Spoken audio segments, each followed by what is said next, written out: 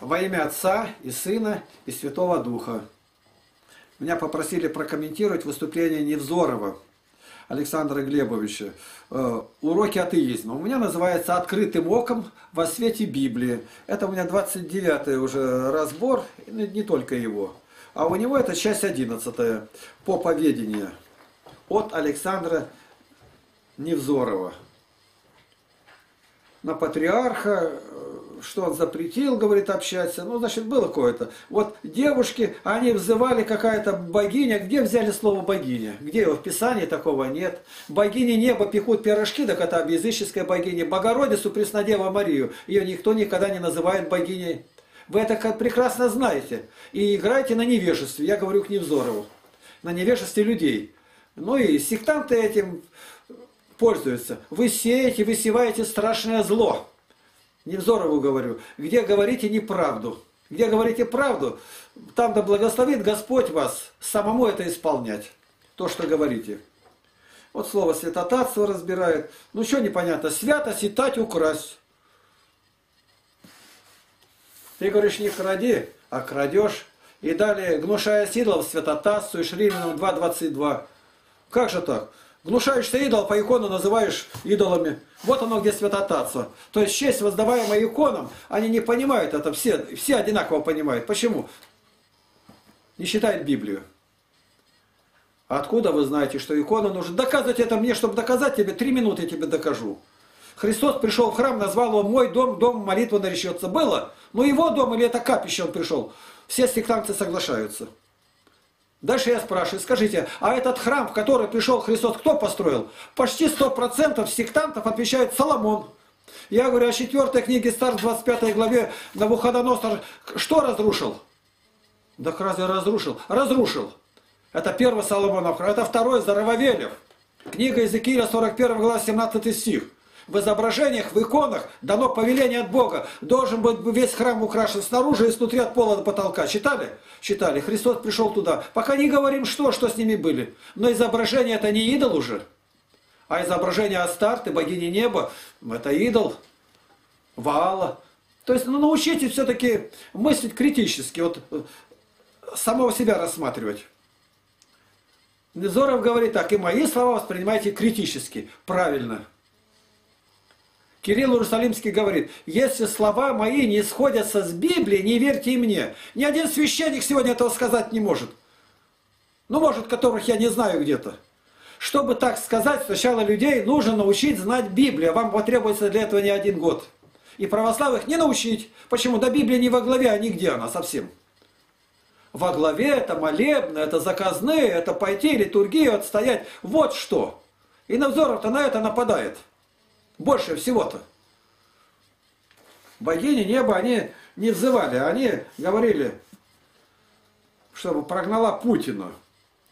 Но по-другому не могли. Это тоже подставные фигуры. Так же, как и думаю я так, я так думаю, что Невзоров не сам по себе. Многие спрашивают, кто за ним стоит. Но я думаю, что не без масонов это дело обошлось. Стоят люди, которым выгодно что-то разрушить. Но если мы молимся о церкви, о патриархе, будет так, как надо. Вот именно вот этом я уверен. Обо мне все молились, и меня осудили. Обо мне все молились, и меня освободили. Это от Бога. Это надо научиться принимать с радостью. Я благодарю Бога каждый день за здоровье и за болезни. За скорби и печали, за гонение, за неправду, которая меня преследует не кто-то, а священники. Люто преследуют. С бешеной свирепостью. А я Бога благодарю и целую Божью руку семикратно в день прославляю его за суды правды его.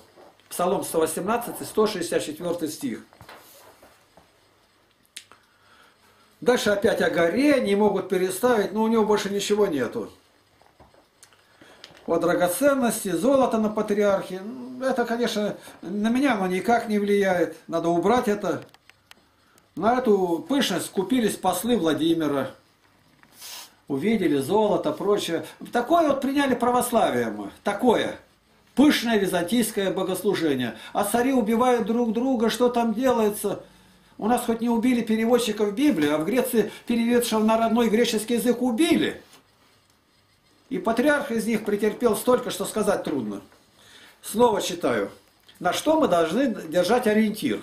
Евангелие от Иоанна 12.48. «Отвергающий меня и не принимающий слов моих, имеет судью себе слово, которое я говорил, оно будет судить его в последний день». Если нам быть судимым по Слову Божию, то и надо на него ориентир держать. Все время сравнивать, так ли говорит Слово Божие, так ли. И если по Слову Божию неправильно говорит патриарх, не слушать его, дабы не оказаться вместе с ним в аду. А что, разве патриархи погибают? Большая часть. Священникам, щаплиным разным, им гордиться не надо.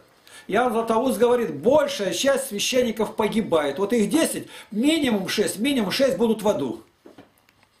А Серафим Саровский говорит, это настольная книга священнослужителя, по благословению патриарха Пимена выпущенная. Третий том, 601 страница. Говорится о том, как э, молился не один день, а молился и молился три дня Серафим Саровский. И Бог заговорил с ним. Я не понимаю, как заговорил, голосом или откровением, но Бог, прямо написано, прямая речь, в кавычках. И он сказал ему, не пощажу и не помилую. А молитва была целенаправленная о русских архиереях и священниках. И Бог ответил, не пощажу и не помилую. Как будто ни одного в России священника спасенного не будет. Что, Серафим сейчас не молится разве? Или один ответ тоже. Может быть, когда Серафиму это было откровение, и сказал он, и попы стали другими. Да ничуть. Они из этого выйти не могут. Слишком дорогая приманка, слишком глубоко увязли. А вот оторваться от этого необходимо познакомиться со святыми мужами веры, как Павел, Иоанн, апостолами, и отойти. Вас обвиняют, ну, больше сейчас обвиняют от Невзора, то в этом направлении. Там золото, тут у вас богатство, тут машины, тут женщины, тут разврат. Он все на это бьет, как плотской человек. А ваша главная вина-то не в этом. Это плотские, это плотские немощи. Самое главное это ересь. Как Агафон совсем согласился, в чем обвиняли монахи. Хотя и женщин не видел толком, и не воровал, и не убивал. Но ненавидящий брата и человека убийца. Но обвинили его в ересе, он вытер слезы и сказал, нет, братья, в этом не виноват. Так ересь это то, то, что через мирскую власть ставят священников, и она слепилась с мирской властью. Это безумие, это ересь. Вот цари-божники говорят им, какая-то симфония, царская власть должна соединиться э, с патриархом, два кресла под одним. Что плетете? Это два совершенно разных этажа. Это небо и земля. Не любите мира, не того, что в мире. Кто любит мир, в том нет любви очи, а без ли очи небеса никто не спасется. То есть спасение всех священников, которые с властями слепились, под сомнением, под вопросом, так скажем. Деяние 27.38. Насытившись же пищей, стали облегчать корабль, выкидывая пшеницу в море. То есть они осознали момент кораблекрушения, буря и выбрасывают. Попы не осознают. То, что выходит сегодня, говорит Невзоров, это мало. Что священников на дому многих убивают, это только начало. Выбросьте все это, сдайте, где вы взяли, наворовали, отдайте. Сдайте эти богатые иконы. Да сохранит Господь, конечно, от всякого убийства, насилия, но пшеницу своими руками выбросили. Ни один священник этого не выбросит. Но откажитесь от дорогих машин. Почему-то мать Тереза, которой папа римский подарил машину, она к ней не прикоснулась. И тут же отдала, продали ее и на сирот в Индии. На нее почему-то не нападает Невзоров. Потому что у нее ничего не было. Она жила для Бога вся. Ее называли живая святая, как Ян Шанхайский. Живой святой, это сказал католический священник на него. А вас сегодня-то никто не скажет. А такими словами называют, что страшно даже. То есть Бога, если бы боялись священники, то вот этой половины уже пшеницы выбросили бы. Невзоров вас бы не брал, не хватал. А он лает на вас, как протопоп Авакум, и я лаял Никона. Дальше. Поповедение от Александра Невзора, часть 12 рассматриваем. О лояльности к иноверческим. Ну, тут не понимает, что такое значит лояльность. Лояльность это не означает, что каторга, кнуты, чем занимались в царской России Да и сегодня патриархийные мгновенно открутят всем голову, если придут к власти. Всем этим сектантам, всем конец. Крышка. Кырдык придет. А не какой закон-то принимать среди Ельцина, которая здесь, а, такие там исторические, как называют, церкви, не менее 20 лет. Видите, кого в рай пропускают? Если бы по нормам избирали патриарха, по выбору, по жребию, Кирилл Гуняев никогда бы не был патриархом. Никогда не был бы епископом. А он какие условия поставили? Кто занимается уже столько-то в ворчине архиерейском, столько-то знает хозяйственную работу, обладает архиерейским чином. Уже Тарасий из мирян в 6 дней был епископ, патриархом поставлен, не, пошел, не прошел бы. То есть я вам буду называть, которые стали патриархами из мирских, они всех отсекли. Они не были архиереями, большинство. Их всех отсекли. То есть они создали для себя вот это ЦК ВКПБ. И только там у них они сами друг друга избирают, как этот Центральный комитет. Сегодня Брежнев, Андропов, Черненко, Ельцин. То есть реанимация сзади ездит. А что нужно делать? Покаяться перед Богом. И смотреть, как апостолы избирали. Они бросали жеребий. Бросили жеребий. Избрали двоих, выбрали, а теперь бросили жеребий. А тут еще до жеребия противников в отвал убирает всех. Один отказывается, другой еще не начале уже проиграл. Кого власти поддерживает? А тут бы так. Кто сотрудничал с КГБ, кандидатура снимается. Все. Никакого Кирилла там больше не будет. Дальше. Кто как-то замешан в обвинениях и не оправдался в разных там педофилиях, не приступай. Дальше. Кто свое не пожертвовал, живет непосредством, за квартиры там миллионы борются, не приступай. Да по признакам апостольской церкви, если вы стали сегодня, вообще в патриархе никого не было. Из варяг начали бы нанимать. Я это хорошо знаю. Мне сказали, а что бы делали, если были патриархом? В первую очередь прекратил храмы строить.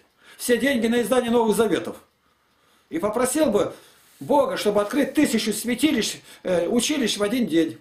А учителями поставить баптистов, которые подпишут, что православную догматику не будут трогать. И своих-то ставить некого.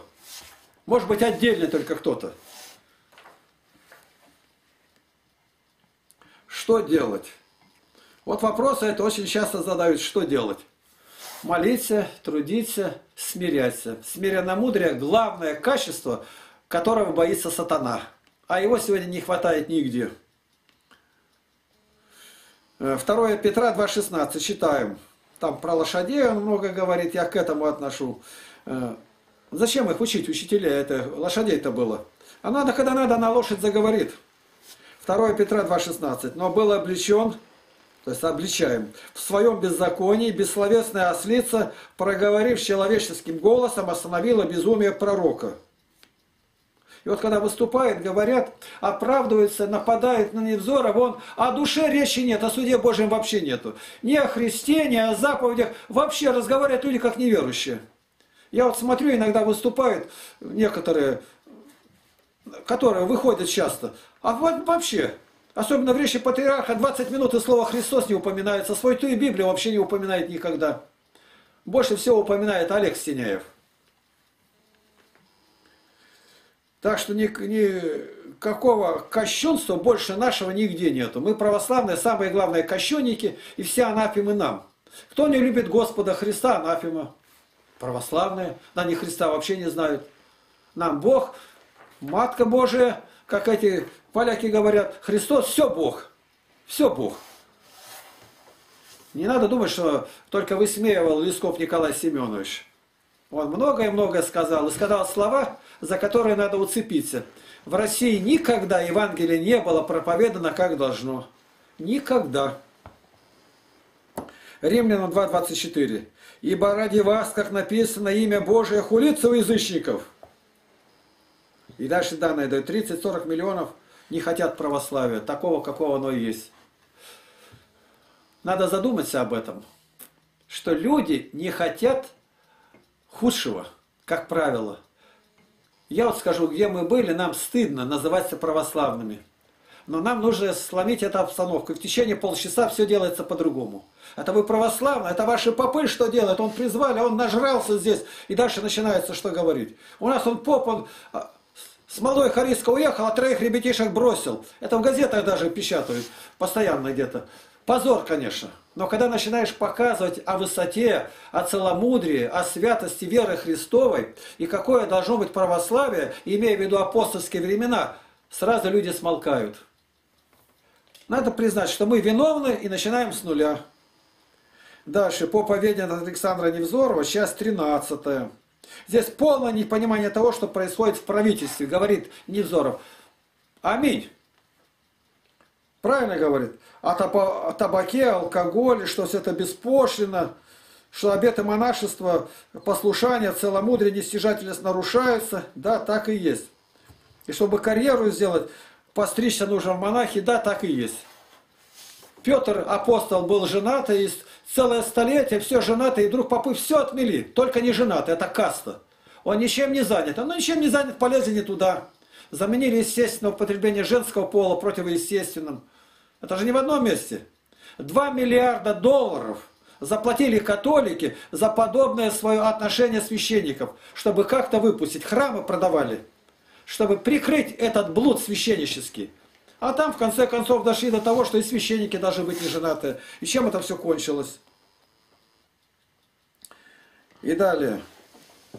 Вот если бы Березовский решил, ну, он решил Христа приватизировать, а может быть Борис стал бы, как я понял, даже патриархом, да кто его знает.